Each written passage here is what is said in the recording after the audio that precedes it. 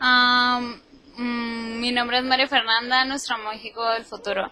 A mí me gustaría que México se alivianara en forma de del ¿cómo se llama? de la limpieza y todo eso porque también la democracia porque todos son unos corruptos y eso es lo que más nos tiene mal a todo México y, y la educación que evaluaran bien a los profesores y pues que le diera más oportunidades a las personas que no tienen oportunidad así recursos para estudiar. Y pues eso sería todo